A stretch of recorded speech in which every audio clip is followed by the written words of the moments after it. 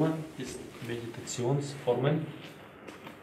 Wir gucken uns zuerst ein bisschen Theorie dazu an und schauen uns dann äh, auf praktischer Ebene auch ein paar Techniken, die speziell aus unterschiedlichen äh, Traditionen kommen, aus unterschiedlichen Richtungen, weil äh, jeder ja von uns anders ist und eine Meditation, die einem gefällt, wird dem anderen vielleicht nicht so gefallen oder nicht so gut hinhauen. Ja, und dementsprechend, äh, weil es viele Leute gibt, viele Traditionen, viele Herangehensweisen, gibt es auch viele unterschiedliche Methoden zu meditieren, unterschiedliche Techniken auch. Aber wie ich das am Anfang immer mache, durch so eine interaktive Fragerunde, äh, frage ich euch, kann jeder dazu ein paar Worte sagen, wie gestern, was ihr unter Meditation versteht, ob ihr Meditationen kennt. Das muss jetzt nicht so lang und ausführlich sein, vielleicht nur ein paar Worte. Also, dass wir halt jetzt so ein Gespräch bilden, äh, dass ich auch weiß, äh, was ihr euch darunter vorstellt und das wird unsere Ausgangslage dann sein, okay, für die äh, weitere Lektion, für den weiteren Verlauf. Okay? Wollen wir bei dir anfangen? Okay. Bei mir, ich stelle vor, das äh, erste Stufe, sich abzuschalten von den Gedanken und äh, auf unterschiedliche Weise, wie gesagt hast. Aber ich suche immer Zugang mit dieser höheren Macht. Ja, ich Gut. gut. Ja, irgendwie. Und irgendwie ich spüre das. Und wenn ich gefunden habe, dann versuche ich das nicht zu verlieren. Ohne bestimmte, du kannst nicht einmal, wie Sankalpa heißt, eine Frage stellen. Aber ich in Wirklichkeit nicht unbedingt. Ich lasse mich einfach so, wie das läuft. Gedanken, ich schreibe mal ordnen, weil ausschalten äh, wird vielleicht noch zu, zu früh, zu weit hergeholt sein. Gedanken ordnen erstmal und das andere Verbindung äh, zu höheren Kräften. Gedanken äh, ordnen, machen wir das mal so. Und dann Verbindung.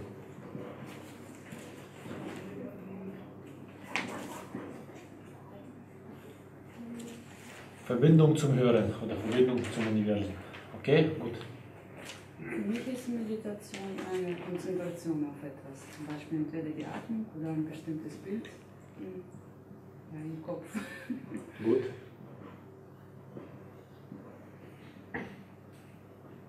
Auch äh, halt, um, äh, von alles andere sich abzuschalten. und abzuschalten. Ja, das kann man hier auch einordnen. So Gedanken ordnen, also Ruhe in sich hineinbringen und auf sich auf etwas konzentrieren. Genau. Weiter? Mich ist im Moment bleiben und Verstand abschalten. Gut. Im Moment schreiben. Ne?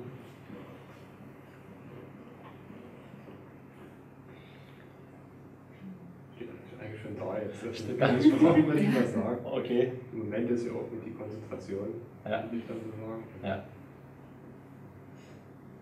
Okay. Bei sich sein, entspannen, äh, zentrieren, sinken. Äh, Ich schreibe hier noch dazu, bei sich sein.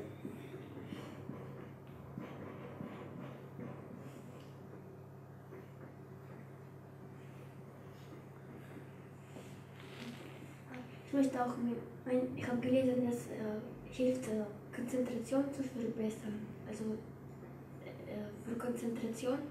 Und äh, dann, ich habe ganz viel gegrübelt und dann ich, möchte ich auch lernen, dass ich merke, welche Gedanken sind, äh, Mhm. wo ich grübele, damit ich lerne, positiver zu denken.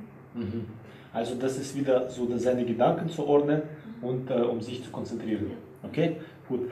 Eine sehr gute Ausgangslage haben wir jetzt hier für uns geschaffen. Und jetzt kommen wir wieder äh, zum Patanjali zurück, äh, wo wir gestern auch angefangen haben, was Patanjali unter Meditation versteht. Im Grunde genommen ist das Wort Meditation äh, eher ein neues Wort. Also in Indien äh, gibt es das Wort nicht oder im Yoga gibt es das Wort nicht. Da gibt es andere äh, Wörter oder Begriffe dazu. Äh, da gibt es den Begriff hier ähm, Dharana.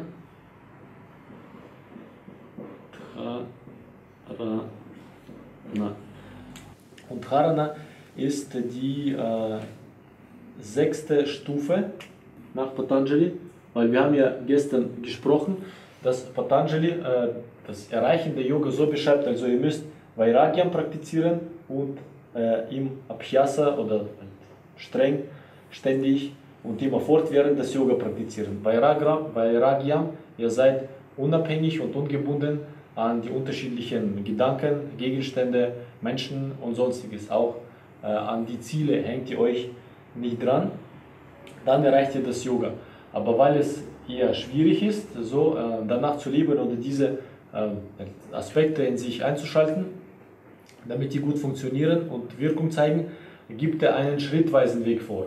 Also und der schrittweise Weg beginnt mit Yama, Niyama, Asana, Pranayama, Pratyahara, Dharana ist die Nummer 6, Dhyana Nummer 7.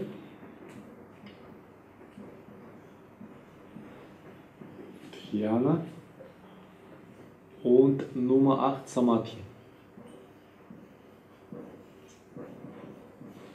Samadhi. Habt ihr diese Begriffe schon mal gehört? Zumindest den Begriff Samadhi. Okay, das, ist, das ist im Yoga geläufig und diese Begriffe kennt man dann auch in Indien und in Asien. Und dieser Begriff Samadhi, der ist auch jetzt in den äh, neuen Sprachen, irgendwo Thailand, äh, Indonesien und so, ist so ein bisschen in abgewandelter Form, aber das Wort kann man da drin schon erkennen. Äh, also sagt er, wenn wir gleich äh, zu meditieren beginnen, also diese Schrittfolge äh, sagt uns aus, dass wir nacheinander praktizieren müssen. Äh, was würde denn passieren, wenn wir gleich ähm, in Samadhi wollen? Wird das, wird das funktionieren? Was denkt ihr? Warum würde das nicht funktionieren? Warum, kann ein normaler Mensch sich nicht hinsetzen und nach ein paar Minuten das Samadhi erreichen? Weil die Energie äh, sich langsam entwickelt. Die Energie entwickelt sich langsam. Okay, noch Meinungen? Ja, zu wenig da passt, also zu wenig Energie. Na, man hält es nicht aus, man wird explodieren. Nur vielleicht würde man das nicht aushalten. Man weiß ja nicht, was man machen soll, im Grunde genommen. Was ist das Samadhi überhaupt? Wie erreiche ich das? Was muss ich jetzt? Wenn ich die Augen zumache, dann sehe ich vor mir einen schwarzen Bildschirm. Also ich habe ja dann noch lange nicht den Samadhi-Zustand erreicht. Wenn wir anfangen zu meditieren, jetzt lassen wir das Samadhi mal weg, wenn wir anfangen zu meditieren und mehr und mehr Energie aufbauen, was passiert dann mit uns? Oder was passiert mit euch, wenn ihr anfängt, wenn, heute in der Früh zum Beispiel, wir sind gesessen, haben uns auf den Atem konzentriert. Eine Stunde. Was ist in eurem Kopf passiert? Oder in euren Köpfen? So ein, ein paar Worte oder Stichpunkte. Ab und zu kommen Gedanken doch. Ab und zu oder immer? Chaos. Chaos. Ja. Manche sagen ab und zu, manche sagen immer. Also das ist, schafft man sich dann zu konzentrieren, wenn dieser Gedankenchaos und da ist, dann schafft man sich nicht wirklich zu konzentrieren. Das ist der eine Aspekt. Der andere Aspekt, was ist in eurem Körper passiert? Oder was war während dieser Stunde in eurem Körper Da los? Alles hat wehgetan. weh. Ah, alles hat wehgetan, und, die Beine schlafen ein und so, man muss die Beine wechseln. Hindernis, Körper ist Hindernis. Der Körper ist dann ein Hindernis sozusagen, genau. Also äh, muss man, weil für diese Praktiken, da müsste man schon, naja, halbe Stunde ist hier fast nur so zum Aufwärmen. Haben wir gestern auch besprochen, man müsste schon äh, hier ohne Regung, nicht mal die, ohne, ohne den Körper zu regen, schon mehrere Stunden sitzen können. Also für diese ganzen Sachen, für das innere Yoga. Also haben wir Methoden, den Körper darauf vorzubereiten. Also Hatha Yoga speziell ist eine Methode, den Körper darauf vorzubereiten. Wir haben ja sehr viele Übungen, die unsere Hüftgelenke locker machen, die die Muskeln dienen, damit wir einfach das Sitzen besser beherrschen. Und je lockerer, je beweglicher die Beine sind, und die, äh, das ist zum einen, und zum anderen muss man das Sitzen einfach üben. Also der Körper, wenn er das nie gewohnt ist und ihr platziert ihn in eine bestimmte Form, der wird sich auf alle Fälle nach einer bestimmten Zeit melden, weil der Körper ist halt so ein Ding, sag ich mal, eine biologische Maschine. Er äh, so neigt zum Bewegen, er braucht die Bewegung auch. Und für ihn ist das Stillstehen oder ohne Bewegung ist das für den Körper, na, ich sag mal, fast ein bisschen unnatürlich. Sogar wenn wir schlafen, und drehen wir uns auch ständig hin und her. Der Körper ist also immer in Bewegung. Und das heißt, neben dieser Öffnung der äh, Gelenke speziell Hüften und der äh, Verlängerung der Muskulatur, der Beweglichmachung des Körpers, müssen wir den Körper auch trainieren, lange und ohne Bewegung zu sitzen. Und dann passiert das nun mal nur durch diese Askese, die wir durchstehen müssen. Das heißt, ihr sitzt, ein Bein schläft ein, ihr wechselt nicht sofort die Position, ihr versucht es durchzuhalten. Der, der Rücken meldet sich irgendwie und dann versucht ihr trotzdem, auch wenn er sich meldet, wenn es unbequem ist, versucht ihr trotzdem durchzuhalten. Und so könnt ihr die Zeit immer äh, halt verlängern, so nach und nach mit den Monaten oder Jahren. Der Körper lernt es dann, äh, so ruhig und ohne Regung zu sitzen und dann funktioniert das besser. Warum denkt ihr, äh, oder, oder was, was denkt ihr, was passiert, wenn wir den Körper bewegen?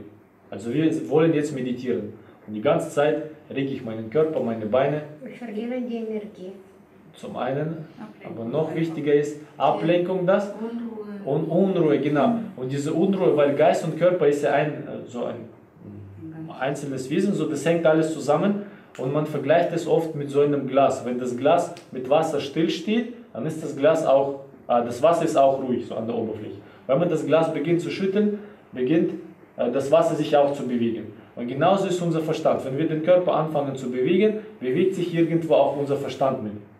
Und deshalb, wenn wir meditieren wollen, wenn wir uns gut konzentrieren lernen wollen, müssen wir den Körper einfach ruhig halten, ohne Regung. Und dann kommt der Verstand auch mehr zur Ruhe. Das haben wir hier besprochen, weil wir wollen unsere Gedanken ordnen und uns konzentrieren. Das sind halt so die ersten Schritte. Und äh, speziell äh, gibt es auch äh, Vorschriften im Yoga, die Yama und die Yama-Prinzipien. Das sind einfach Prinzipien, nach denen man leben sollte.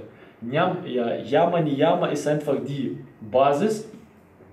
Das ist die Basis aus diesem Hintergrund, weil wenn ich irgendwie noch unausgelebte und unabgeschlossene Triebe, Wünsche, Begierden oder sonstiges habe, die noch in meinem Inneren äh, existieren, was passiert dann, wenn man die Augen zumacht und sich stillsetzt? Die fangen sich an zu melden. In, Form von Gedanken, in Form von irgendwelchen anderen Emotionen vielleicht sogar. Und das lenkt natürlich sehr, sehr ab. Und speziell die Prinzipien des Yama, die lernen den Menschen in einem sozialen Umfeld auf eine bestimmte Art und Weise zu leben. Also zu, zu Yama-Prinzipien gehören ja dann solche äh, Begriffe oder Aspekte wie das Nicht-Stehlen, Nicht-Lügen, äh, das Nicht-Ansammeln und das Nicht-Anheften an bestimmte Dinge oder materielle Sachen auch und äh, die vollständige Kontrolle seiner Sinnesorgane vielleicht oder seiner ganzen Gefühle, was man so als Brahmacharya bezeichnet.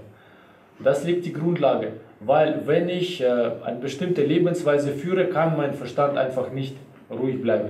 Wir nehmen zum Beispiel nur einen Dieb.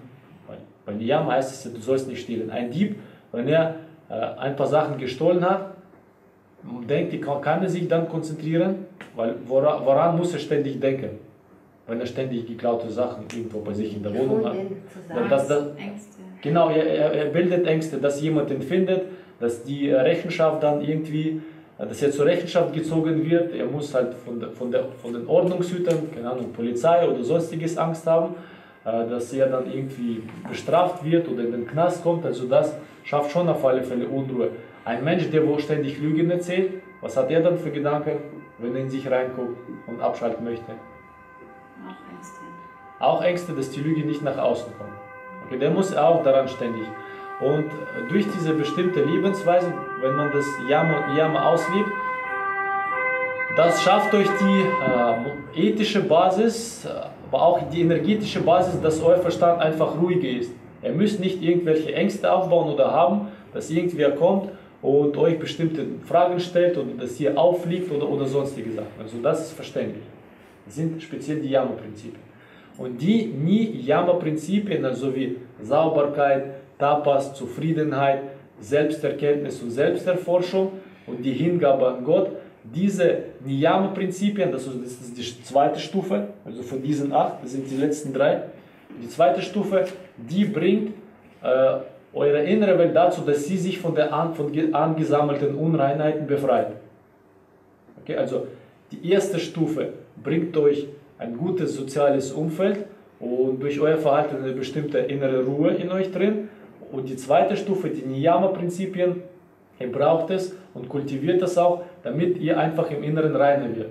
Weil wenn ich heute anfange, Yoga zu praktizieren, heißt es, ich habe eine bestimmte Vergangenheit und keiner von uns war in der Vergangenheit heilig und hat alles perfekt ausgeführt. Also wir haben schon auch von früher noch diese Einflüsse, die uns jetzt immer noch nicht in Ruhe lassen in irgendeiner Art und Weise. Und wenn wir das Niyama praktizieren, also das kann jeder nachlesen oder nachgucken in anderen Lektionen, wenn wir das Niyama praktizieren, schafft es eine gewisse Sauberkeit in uns. Und dann, wenn wir diese ethischen Grundlagen beherrschen und danach leben, können wir Asana, Pranayama, also speziell Pranayama Atemübungen machen und uns da weiterentwickeln und äh, zum Pratyahara übergehen. Pratyahara ist die fünfte Stufe. Es ist dann aber für uns alle ganz wichtig, Pratyahara ist es, wenn wir als Praktizierende alle unsere Sinne und Gedanken lernen abzuschalten und einfach nach innen zu kehren. Also wenn ich Pratyahara praktiziere, also wenn ich die Augen zumache und das, mich da rein meditiere, heißt es, ich kriege nichts mit, was um mich herum passiert. Also die Geräusche können mich nicht äh, also aus der Ruhe bringen, irgendwelche anderen, ob es mir kalt oder heiß ist oder auf der Haut, also diese Sinnesorgane muss ich auch kontrollieren lernen, dass mir das nichts ausmacht. Also speziell auch wenn der Körper beginnt Schmerz zu empfinden oder sich so zu melden, dass man da auch nicht darauf eingeht oder so fast nicht reagiert. Also dass man die Sinne, die vergleicht man im Yoga wie die äh, Beine einer Schildkröte. Also die Sinne sind nach außen. Und Pratyahara ist diese Methode, wenn die Schildkröte, als ob sie die ganzen, also ihre vier Beine und den Kopf einzieht in den Panzer. Und so ziehen wir unsere Sinnesorgane, also Geruchssinn, Gehörsinn, Geschmackssinn sowieso nicht, weil wir beim Meditieren nicht essen. Und äh, unser Gefühl, was, was die Haut dann äh, aufnehmen kann. Also Luftzug, irgendwelche Temperaturen oder sonstige Insekten, wenn sie draufsetzen, das sollte einen nicht stören, beziehungsweise gehe ich äh, von der Annahme aus, dass die Yogis früher das so weit abschalten können, dass sie gar nichts mehr bekommen. Weil Sinnesorgan ist ja über einen Kanal verbunden, also energetisch über einen Kanal verbunden mit dem Verstand. Und ich denke, man kann meditativ den Verstand äh, so eine Arbeitsweise oder Funktionsweise bringen, dass ihr dass diese Signale gar nicht im Gehirn ankommen oder dass diese Gehirnareale abgeschaltet werden, meditativ, dass wenn ich was hören auch würde, die Signale kommen an, aber diese Gehirnzone ist abgeschaltet und ich höre einfach nichts. Okay? Ist das so verständlich? Also ich bin, ich weiß keine Menschen, die das tatsächlich können. Also man kann schon jetzt sagen, ich passe nur auf mein Inneres auf, aber trotzdem irgendwo im Hintergrund höre ich, wenn draußen ein Auto vorbeifährt oder wenn da irgendwer hupt oder wer redet. Aber also aus den Büchern kann man das sich so äh, herausdenken, wenn man das logisch fortsetzt, den Gedanken, dass es tatsächlich so war, dass man wirklich nichts hört. Als hätte man wirklich Stöpsel drin. Und dann kann man gut in sich hineingehen, dann kann man gut konzentrieren. Dann wird man von seinen fünf Sinnen nicht abgelenkt. Weil also zu eurem Verstand, was wir gerade gesprochen haben, wenn der Verstand an unterschiedliche Gedanken abspielt und die uns ablenken, können uns auch unsere fünf Sinne ablenken. Und die fünfte Stufe Pratyahara ist halt das Abschalten der Sinne. Ha? Unterschied zu Schlaf? Der Unterschied zu Schlaf? Naja, im Schlaf ist ja auch so, dass wir bestimmte Bilder und sehen und wahrnehmen. Und äh, im Schlaf ist das Bewusstsein auf einer ganz anderen Ebene. Also meditativ, krieg, im Schlaf kriegt man ja nicht mit, dass man schläft. Höchstens, es gibt doch solche Praktiken, wo man während des Schlafens auch bewusst den Traum steuern kann und sagen, ich gehe hier nach links, nach rechts, nach vorne, nach oben oder nach unten im Traum. Aber das können die wenigsten Menschen. Normalerweise passiert das alles automatisch, wir sehen irgendwelche Bilder. Oder wir schlafen ohne Bilder, ohne Träume, da sind wir einfach weg. Und wir wissen auch nicht, was, wie viel Zeit dann vergangen ist, wenn wir aufwachen. Okay, das, ist, das ist der Unterschied zum Schlafen. Also hier das bewusste äh, Erleben, also was in meinem Inneren passiert, also ich bin mir bewusst, dass ich ich bin, dass ich der Beobachter bin. Im Schlaf ist ja dieses, diese, ja, ist es entkoppelt. Okay, gut. Pratyahara war die fünfte Stufe und dann beginnt das Dharana. Dharana ist Konzentration, also man kann das hier auch schon äh, eine Verbindung schaffen zu diesem Aspekt, den wir äh, angesprochen haben. Und Konzentration ist speziell das Zusammenziehen, also das Gegenteil von Streuung. Zentrum also Konzentrum, Konzentration. Wir bringen unsere ganze Aufmerksamkeit auf einen bestimmten Punkt. Oder wir beobachten einen kleinen Punkt. Also ich kann ja auch äh, meinen Blick, also wenn ich das ein bisschen fokussiere, ich kann ja meinen Blick streuen, dass ich mir räumlich wahrnehme, was um mich herum passiert, oder ich kann meinen Blick auf einen Punkt streuen, wenn der, Blick, Blick, äh, wenn der Punkt vor mir irgendwo auf der Wand ist. Und genau ist das so mit meiner Aufmerksamkeit. Also ich kann die Augen zumachen und meinen ganzen Körper wahrnehmen und spüren, was im Körper passiert. Das muss man auch trainieren. Das passiert nicht gleich gut und nicht überall. Aber man kann schon äh, diese Richtung, also das kann jeder von euch. Oder ich kann speziell nur einen kleinen Punkt irgendwo in mir wahrnehmen. Dann habe ich meine Aufmerksamkeit auf einen Punkt konzentriert. Speziell ist es sehr deutlich und gut zu verstehen, wenn ich irgendwo eine Wunde habe, eine kleine Schnittwunde, und äh, die meldet sich durch einen Schmerz und dann ist automatisch meine ganze Konzentration dort. Also man kann vielleicht das durch Versuche feststellen, wenn man hier eine größere Wunde hat und hier eine kleinere, dann, dann spürt man nur die größere Wunde. Also im, äh, den, im, im Normalfall, weil die sich stärker meldet. Also meine Konzentration ist dann auf diesem einen Punkt. Und äh, gedanklich eben äh, versuchen wir oder lernen, weil das ist ja erst die Stufe 6, äh, versuchen wir unsere ähm, Konzentration gedanklich zu sammeln. Es kann ja auch nur ein Gedanke sein, so eine Affirmation, so ein Satz. Also ich sitze jetzt hier, weil ich gesünder werde oder ich programmiere mich, dass ich mehr Gesundheit habe. Okay? Und diese Affirmation, dieser Gedanke, ich bin gesünder, das, das kann man ja auch praktizieren, wenn, wenn das aktuell ist, wenn das sein muss. Und trotzdem werdet ihr von anderen Gedanken unterbrochen.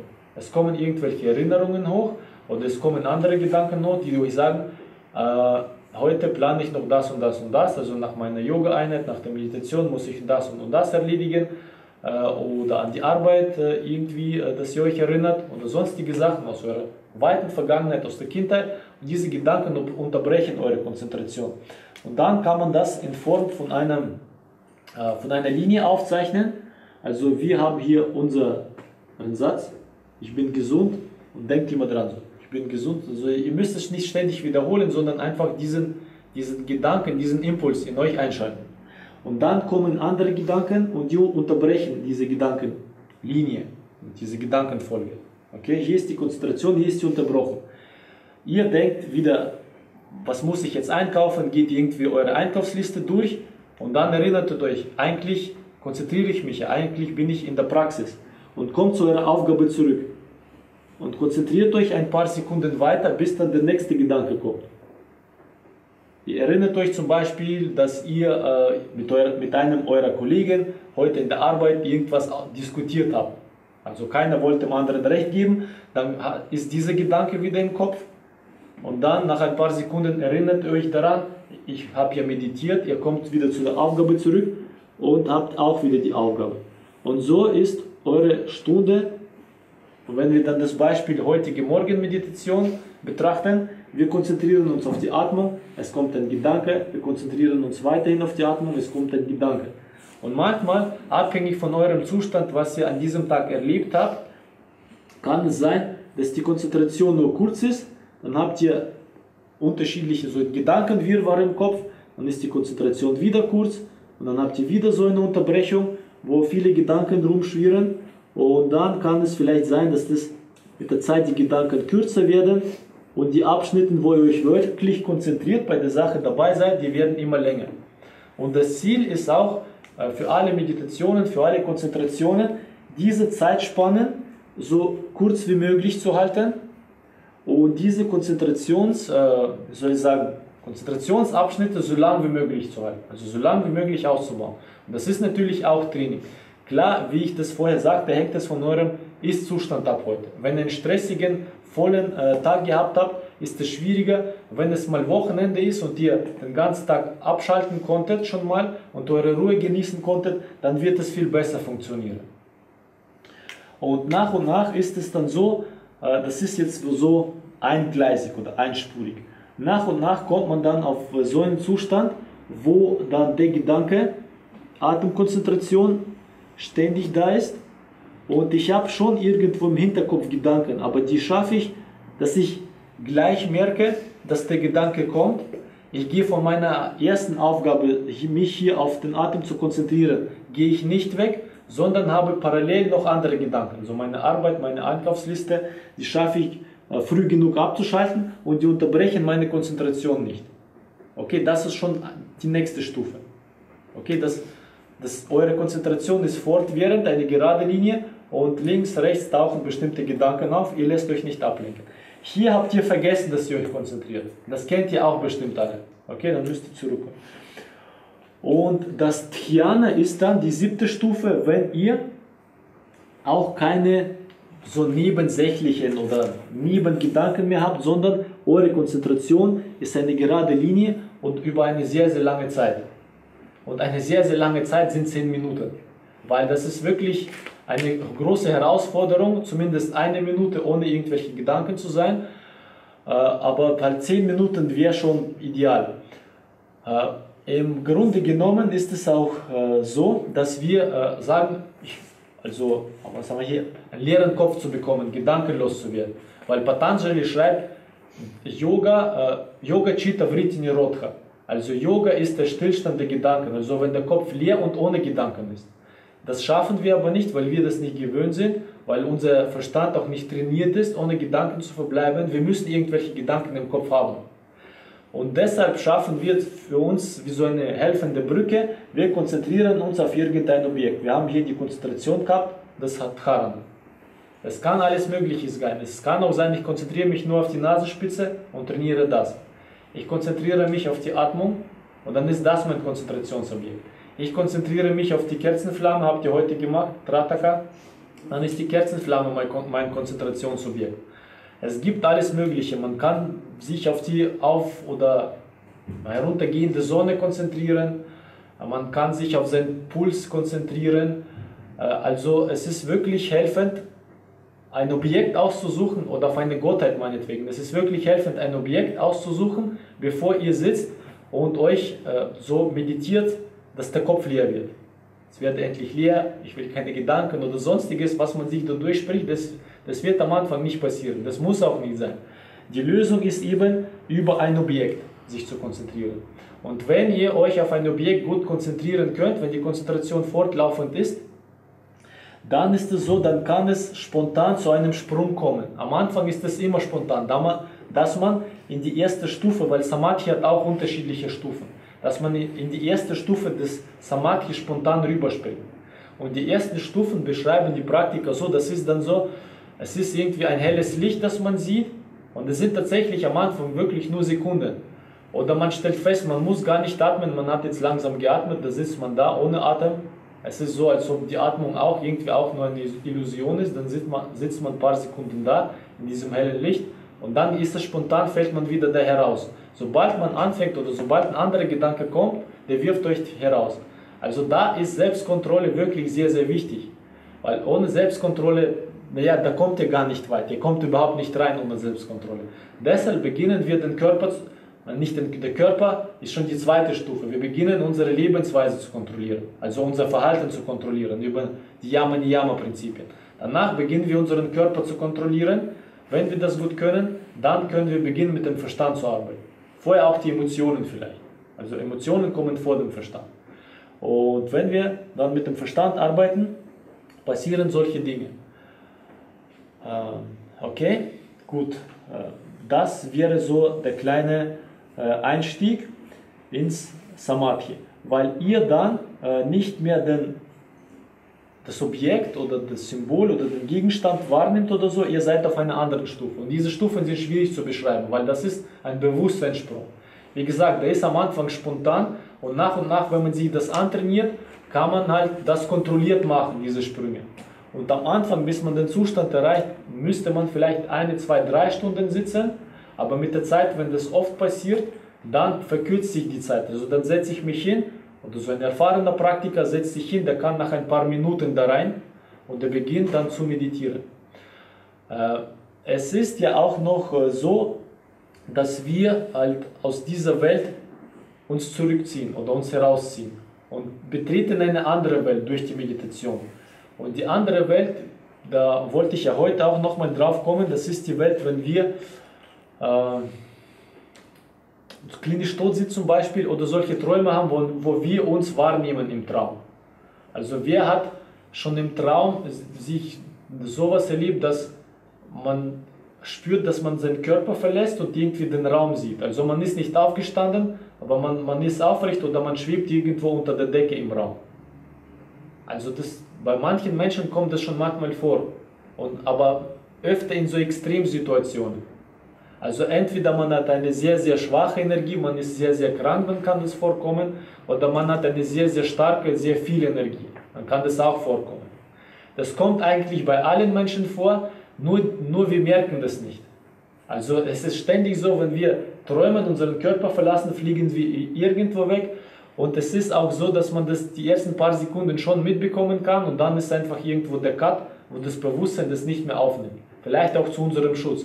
Weil wenn wir mitbekommen würden, was, was wir erleben im Traum, uns würde nicht alles gefallen und uns würde viele sehr viel Kopfschmerzen bereiten, wirklich in dieser Welt. Das heißt, wenn man jetzt so Albträume dazu sagt oder wenn man irgendwelche niederen Schichten des Universums oder des Daseins dann besucht im Traum und guckt, wie das dazu geht und diese Emotionen erlebt, dann kann es so sein, wenn das zwei, drei Tage hintereinander passiert, dann möchte man gar nicht mehr schlafen, weil man will das gar nicht sehen. Deshalb schaltet das irgendwo ab. Also da gibt es einen bestimmten Filter, wo das Erlebte, das Gesehene, wenn wir das auch brauchen für unsere Erfahrung, wir haben in dieser Welt mit unserem jetzigen Bewusstsein, kennen wir das nicht oder können uns nicht daran erinnern. Auch aus diesem Hintergrund, weil unser jetziges Bewusstsein, so wie ihr jetzt euch wahrnimmt als eine Persönlichkeit, Mann oder Frau, das ist nur eine winzige Spitze eines riesengroßen Eisbergs, äh, was ihr eigentlich ausmacht eure Seele mit den ganzen Erfahrungen, mit den früheren Leben und mit euren ganzen Fähigkeiten. Da habt ihr also nicht die geringste Ahnung, wer ihr eigentlich seid oder was, man, was ihr aus euch eigentlich an die Oberfläche rausziehen könnt. Aber wir müssen hier bestimmte Lektionen vielleicht erfahren. Wir haben hier eine bestimmte Weise zu leben und wir sind eigentlich von, in dieser Illusion und von dieser Illusion gefangen und wissen eigentlich nicht, wer wir, wer wir sind. Also unter dieser Oberfläche, unter dieser Schicht in unserem Bewusstsein speziell. Ähm, und hier, äh, diese Zustände Dharana, Dhyana, Samadhi, Patanjali beschreibt es ja auch so, dass wir in dieser Illusion gefangen sind und wir können uns meditativ aus dieser Illusion herausziehen. Also der Samadhi-Zustand ist der gleiche Zustand wie der klinische Tod und ist der gleiche Zustand wie der normale Tod. Nur Samadhi kann man kontrollieren. Also man verlässt den Körper kontrolliert, man kommt in den Körper kontrolliert zurück. Wenn man stirbt, dann verlässt man den Körper und die Seele wandert dann weiter in ihre Welt. Okay, das ist der einzige Unterschied. Hier kann man das steuern. Und bei manchen Yogis kommt es so vor, sie verlassen ihren Körper, der Körper mumifiziert sich, also der Körper ver verwest nicht. Da gibt es ja auch ein paar Fälle, wo man solche Mumien findet. Und die Seele bzw. der Geist, der wandert irgendwo in verschiedenen Welten und da kann er, wenn er sich daran erinnert, da unten ist irgendwo mein Körper, er kann zurückkommen und den Körper wieder zum, zum Leben erwecken sozusagen, wenn er genug Energie hat. Wenn er in diesen Welten so ein bisschen sich ver, vers, wie heißt das, verspielt, nicht, so zu viel, zu, zu viel Gutes erlebt, zu viel ja, lustige oder interessante Sachen erlebt, vergisst er seinen Körper hier auf der Erde, bis er zerfällt. Für uns ist es so, dass der Mensch gestorben ist aber aus seiner Sicht ist er nicht gestorben. Aus seiner Sicht besucht er verschiedene bunte Welten und erlebt dort schöne Sachen. Also und sein Körper interessiert ihn aus dieser Sicht gar nicht mehr. Und von einer Frau, die äh, ertrunken, also halt klinisch tot war während Ertrinkens, als sie ein kleines Mädchen war, sie kann sich auch noch sehr gut daran erinnern und sie sagt, sie hat erzählt, sie wollte nicht zurück in den Körper, weil es dort so schön war. Und, und diese, dieses Zurückkommen, dieses Zurückdringen in den Körper, das hat, ist auch schon mit Schmerzen verbunden. Das ist für die Seele nicht so schön, weil die Seele ist so eingepfercht in diese Materie. Und sie möchte sich auch irgendwo befreien, weil sie hm, ja eine andere Substanz ist, halt eine nicht unbedingt energetische, sondern sie ist der Geist. Okay? Sie ist der Geist. Okay, deshalb. Und äh, außer diesen Samadhi-Zuständen, äh, weil ich ja gesagt habe, da gibt es unterschiedliche Ebenen und der höchste Samadhi-Zustand ist das Nirvikalpa Samadhi, wo die Seele oder der Geist den Körper verlässt und zum Ursprung zurückkehrt und mit dem Absolut verschmilzt. Dann ist es keine Persönlichkeit mehr, weil wir sind als Persönlichkeit so ein Teil des Ganzen, so eine kleine Seele und man kann bewusst dann in diesen Ozean oder zum Gott, wie drückt man sich dann richtig aus, in den Ozean wieder zurückgehen und wieder mit dem Gott verschmelzen, wieder ein, ein Teil von ihm werden.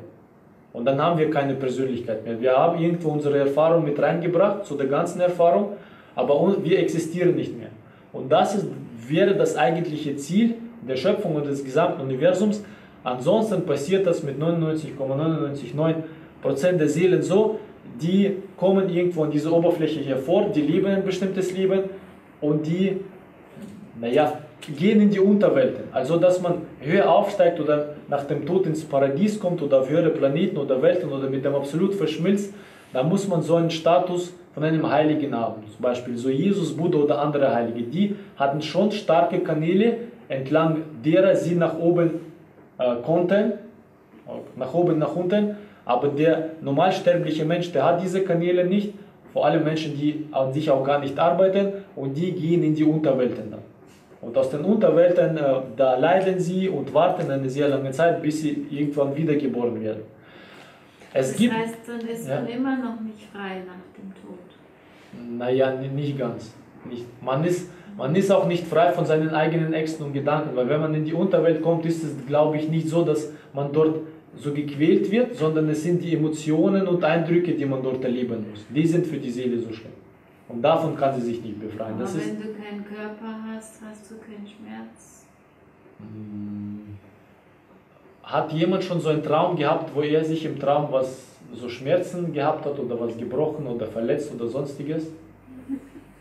Oder im Traum sehr viel Angst gehabt? Aber, aber Angst haben, denke ich, viele im Traum. Und das ist ja auch ist Emotion.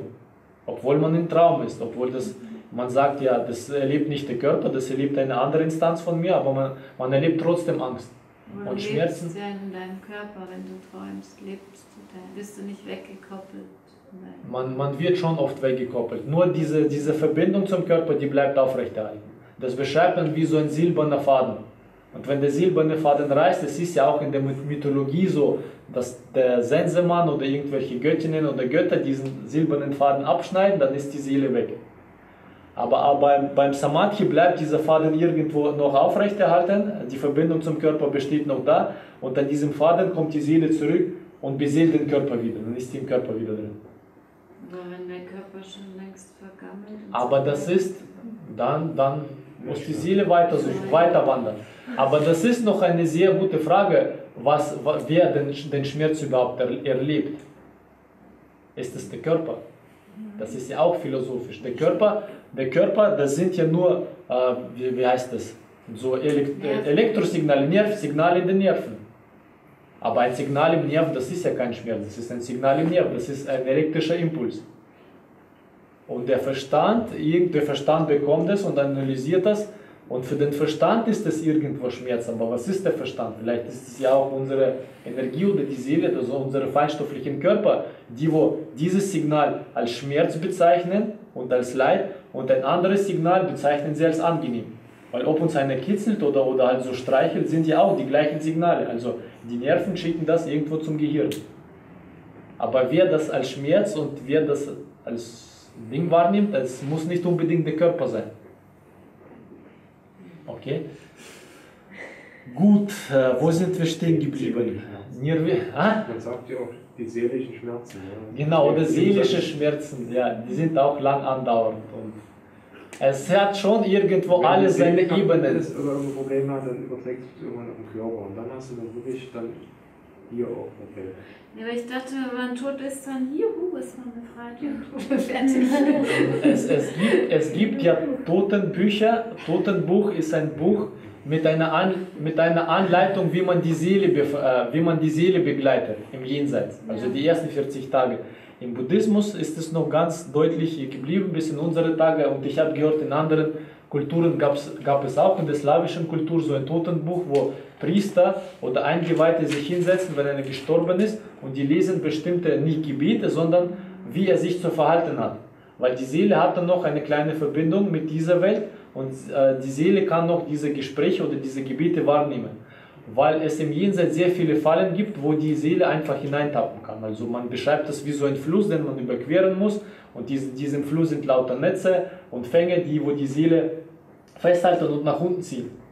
Und man kommt nicht ans andere Ufer. Das ist leider auch mit so beschrieben. Ja, In der germanischen Mythologie, da kannst du das mal nachlesen. also sogar bei den Germanen ist es auch noch so. Also das ist, das ist in, in jeder Mythologie, denke ich, war es früher so, weil es ist einfach unsere Welt, also das ist unser Universum. Und ob man jetzt aus der indischen Kultur dadurch da rausblickt oder aus der buddhistischen Kultur oder aus der germanischen oder slawischen, die Menschen nehmen das Gleiche wahr, bloß beschreiben sie das anders. Und es ist ja auch noch so, die Informationen aus dem Jenseits oder aus der Anderswelt, das sind Informationen. Und wie der Körper das umsetzt, hängt schon wieder von eurem Verstand ab. Also warum gibt es so viele unterschiedliche Bilder von Gott? Es, die Energie ist die gleiche, aber unser Verstand, das ist wie so ein Code bekommen wir und wir entkodieren oder dekodieren diese Information und verwandeln diese Informationen in bestimmte Eindrücke oder Bilder. Und deshalb malt jeder Künstler den Gott ein bisschen anders, obwohl die beide Kün- Künstler qualitativ die gleiche Energie bekommen haben. Aus ihrer Weltanschauung heraus einfach.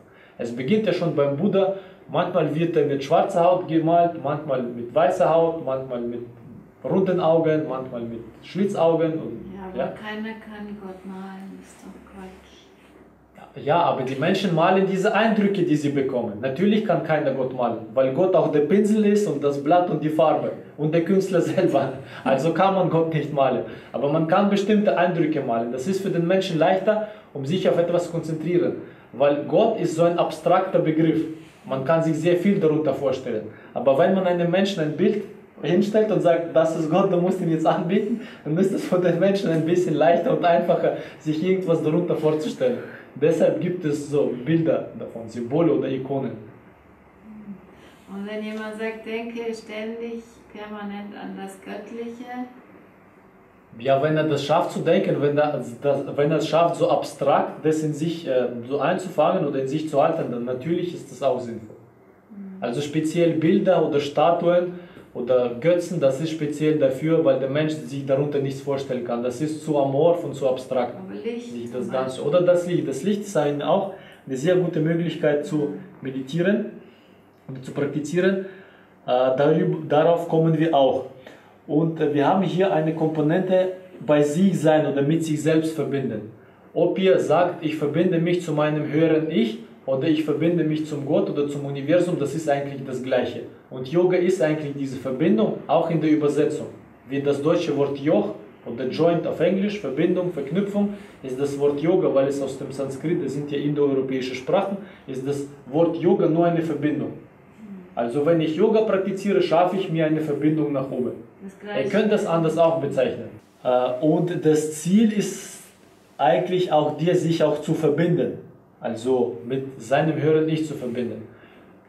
Und sein höher, also euer höheres Ich ist auch äh, eine gewisse Instanz, die man auch als Gewissen irgendwo bezeichnen kann. Wenn ich hier so ein ganz normaler Durchschnittsmensch mit meinen Wünschen, Begierden, mit meinen Problemen, mit meinem Alltag hier existiere, dann existiert irgendwo ein übergeordnetes, also ein übergeordneter Aspekt von mir selbst. Etwas Höheres, etwas äh, Reineres und Helleres und halt äh, edleres und ja, tugendhafteres als ich, der ich jetzt bin. Und äh, wenn man die. Verbindung, ja gleichzeitig, wenn man diese Verbindung nach oben schafft und aufbaut, dann hat man so mehr, da wird man so wie von seinem höheren Ich geführt oder geleitet sozusagen. Aber das ist schon auch das Gewissen. Also das sagt einem, was gut ist, was schlecht ist, wie man sich verhalten sollte, wie man sich nicht verhalten sollte. Aber das ist ja auch in den anderen Traditionen so. Also in der Yoga-Tradition haben wir fünf Koshas, also fünf Ebenen. So physische Ebene, emotionale Ebene, mentale Ebene. Und dann gibt es äh, rein also in die äh, Buddhi, also der Buddhi-Körper. Äh, und äh, dann der Astral. Ne, Astralkörper ist ein bisschen was anderes. Also die, die bezeichnen die fünf Koshas. Und im Grunde die, die tiefste oder die, die höchste Ebene ist der Kausalkörper. Da, wo der Grund unserer Reinkarnation so gespeichert ist. Oder die Absicht, warum wir hergekommen sind, gespeichert ist. Und der Kern, das sind ja wir oder unsere, unsere Javaten, wie es das heißt. Das ist, aber, das ist aber, wie man sagt, auch nicht die Seele. Die Seele ist irgendwo auch ein Träger dieses Bewusstseins. Bewusstseins. Und der Kern der Bewusstsein, so diese innere Beobachter, das sind eigentlich wir. Okay? Aber jetzt muss ich hier noch eine, ein, äh, eine Sache erklären, warum wir eigentlich auch meditieren. Meditation ist auch äh, eine Methode, um die Wahrheit herauszufinden. Wenn wir ein Objekt betrachten, heißt es, wir haben hier unser Auge, wir haben hier ein Objekt. Und irgendwo bricht, äh, irgendwo fällt Licht auf das Objekt und das Objekt äh, reflektiert das Licht, unser Auge nimmt es auf und wir verarbeiten irgendwie und sehen da einen Würfel, Projektion. eine Projektion. Aber wir sehen den Würfel nur von einer Seite. Zum Beispiel wäre der Würfel hier blau und auf der anderen äh, Seite oder auf der Rückseite rot und überall hier vorne blau, wo ich ihn sehe, würde ich annehmen, der Würfel ist überall blau. Also das ist meine logische Schlussfolgerung. Das heißt, ich sehe jedes Objekt nicht so, wie das Objekt eigentlich ist. Und wir sehen unsere Welt eigentlich immer so, wir sehen nur einen sehr kleinen Abschnitt von, von unserer Welt. Und so ist unsere Auffassung über diese Welt eine sehr, sehr primitive. Damit ich äh, halt komplett die ganze Information, so viel wie möglich Information über diesen Würfel habe, müsste ich mich meditativ mit ihm verschmelzen. Also Würfel, das ist nur ein Beispiel, um das zu verstehen. So kann man sich meditativ mit jedem Objekt verschmelzen. Also man meditiert zuerst jetzt in diesem Beispiel auf den Würfel und ich habe noch also Subjekt, das bin ich und das ist das Objekt. Und dazwischen ist dieser Prozess, das Sehen, die Wahrnehmung. Und in dem meditativen Zustand bringe ich mich so weit, dass es kein Subjekt und kein Objekt mehr gibt und diese, ähm, diese, diese Handlung, das Sehen, der Prozess, der, der, hört auch auf zu existieren, ich verschmelze mit dem Objekt. Okay, ist deutlich, weil so ich, ich löse mich auf, also ich existiere nicht mehr, ich bin das Subjekt, ich werde zu diesem Würfel. Und wenn ich zu diesem Würfel geworden bin, medit meditativ, dann weiß ich alle seine Kanten, alle seine Ecken und ich weiß alle seine Farben. Also das ist grob erklärt auch eins der Sinne der Meditation. Und so kann ich mich mit einem Baum verschmelzen, mit einer Gottheit verschmelzen, vielleicht auch mit einem Menschen verschmelzen und so lese ich die Information ab. Also ich lese Information nicht mit meinen Augen ab, also das, was mir die Optik bieten kann, sondern ich verschmelze mit dem Objekt meiner Beobachtung, ich werde zu diesem Objekt und dann weiß ich alles über das Objekt, weil ich bin das Objekt. Oder ich schau, frage andere Menschen. andere ja, aber die anderen Menschen, dann ist mein Spektrum zwar größer, aber die anderen Menschen haben die gleiche Sinnestäuschung wie ich. Aber die sehen von Von der der anderen. Perspektive. Aber die sehen es von der anderen Perspektive Vielleicht auch. sitzen die auf der roten Seite von Aber wir sind heute beim Meditieren. Also unser, unser, weißt du, du sagst der ist blau und die sagen, der ist rot. Da kommst du auch nicht weiter. ja, genau, Jeder genau. Wenn die dann sagen, Erfahrung ha? alles. Ja? Aus eigener Erfahrung. aus eigener Erfahrung, genau. Also ich wollte damit euch nur den Sinn äh, geben, wie das früher verwendet wurde, das Yoga. Also wenn ich mir eine Frage stelle, äh, wie ist das und das? Und dann gehe ich medit meditativ da rein und ich ziehe mir die einfach runter. Also wie man heute ins Internet geht und sich die Antwort runterlädt, so konnte man durch Meditation sich die komplette Information über ein Objekt oder einen Zustand oder einen Gegenstand runterladen. Ja, Das- früher. Naja, vielleicht gibt es heute, es gibt bestimmt heute Menschen auch, die das beherrschen, aber ich weiß nicht, wo die leben, in welchen Klöstern oder Bergen oder wo und wo sie meditieren. Hellseher. Aber es ist bestimmt Hellseher, das kommt schon hin, Hellseher. Obwohl, naja, es, es geht schon in die Richtung. Ich sage jetzt nicht, dass die Hellseher das Gleiche machen, das Gleiche können, praktizieren, aber es geht schon in die Richtung. Naja, du Weil- hast ja manchmal eine Vision von irgendwas, dass so ein Bild kommt, was du eigentlich Und das ist ja wissen spontan. Und hier ist alles Genau. gesteuert. Das ist das Unterschied. Das ist der Unterschied. Und wenn das spontan kommt, die Vision oder eine Eingebung, dann ist ja auch nicht äh, eine Garantie dafür, dass es halt auch tatsächlich so ist. Man bekommt oft Eingebungen von irgendwelchen Energien oder Kräften oder so, die einen auch ein bisschen täuschen wollen oder die einen mit einem ein bisschen spielen wollen. Da muss man wirklich sehr gut aufpassen, was man mit dieser Vi- Vision dann anfängt, äh, was man damit alles macht. Ja, ich meine, wenn, wenn du meditieren möchtest, aber um dich herum sind Kräfte, die, keine Ahnung, die dich beeinflussen. Ja. Dann, dann muss man lernen, sich davon zu distanzieren. Also dieses Vairagya. Durch das Konzentrieren auf sich selbst, durch, die, durch das Zentrieren. Das haben wir auch jetzt in diesem Fall sehr äh, oft erwähnt worden, also dieser Begriff, dass man sich einfach zentriert, dass man bei sich ist. Dass man sich nicht, dass man auf, es gibt ja auch so einen guten äh, Begriff oder so einen Vorsatz. Buddha sagte, wenn du in der Medit Meditation Buddha triffst, dann töte Buddha. Weil die ganze, weil, weil wenn, ihr in der Meditation euch etwas oder jemand als Buddha erscheint, das kann nicht Buddha sein. Weil Buddha ist überall und hat sich aufgelöst. Aber es können bestimmte Einflüsse sein oder sonstige sein, die euch in Form von einer Gottheit irgendwo erscheinen und, und, und euch etwas vortäuschen. Also da, da muss man auch sehr kritisch äh, das alles sehen. Ja, gibt es immer die Frage, ich bin nicht meine Gedanken ich bin nicht ausschließlich meine Gedanken, wo die herkommen. Und äh, dazu möchte ich euch noch Folgendes sagen.